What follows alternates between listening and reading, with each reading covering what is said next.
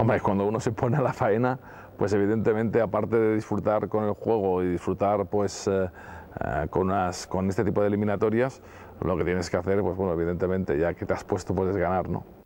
Es como a veces cuando hablamos de los partidos entre semana, lo que ocurre que aquí son partidos más continuados y con el mismo rival, ¿no? Hay veces que puedes tener la sensación de haber ganado un partido fácil y después perder los dos siguientes, ¿no? Entonces yo creo que eso es una cosa que no, no debemos de, intentar que suceda, sino mm, borrón y cuenta nueva después de cada partido. Ya hemos ganado, ya hemos perdido, porque el partido siguiente pues hay que corregir lo que has hecho mal y hay que multiplicar lo que has hecho bien, ¿no? Y saber de buscar las cosquillas al, equipo rival.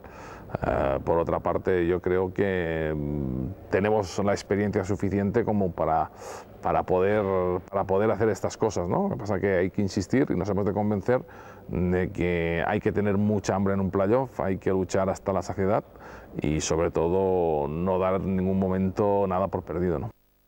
Bueno, evidentemente, ¿no? Es importante el, tener el, playoff en casa. Eh, es importante, sobre todo, eh, también ese primer partido, ¿no?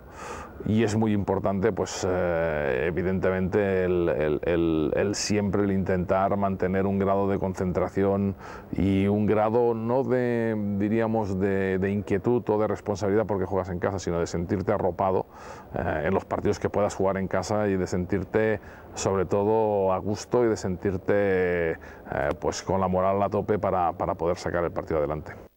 No lo sé, no lo sé, no lo sé. Eh, evidentemente, pues eh, todos queremos una eliminatoria corta, pero desgraciadamente tal como está la liga es muy difícil y con un equipo como el Cáceres es complicado, es complicado.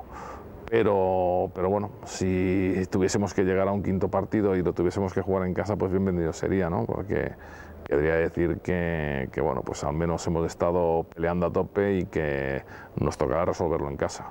Pero bueno, si se puede resolver antes mejor, ¿no? Pero si no, pues, pues nos, tocará, nos tocará aguantarlo y si no, que no, que no nos lo resuelvan ellos al menos.